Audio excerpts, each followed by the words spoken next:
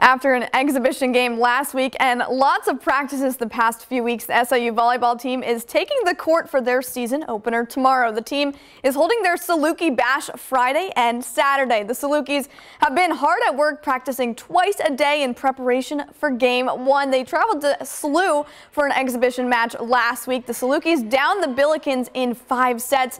Southern is looking to make some noise in the MVC this year. They didn't have the season they would have liked last year. Finished finishing 5 and 26 overall and 0 and 18 in conference play. The Salukis will look to bounce back in their season opener tomorrow. They're hosting SIU Edwardsville for game one of the Saluki Bash. Head coach Ed Allen has big expectations heading into game one of the season. Just like any game, we approach it going, look, we're going to play hard, we're going to play smart, we're going to play together, and we're looking to grow the team as we move through that. We've got a lot of young kids that are going to see some time a lot of returners who have developed a lot in the offseason. And so what I like to see is a, is a product that's probably the best that we've had to put on the floor since I've been here.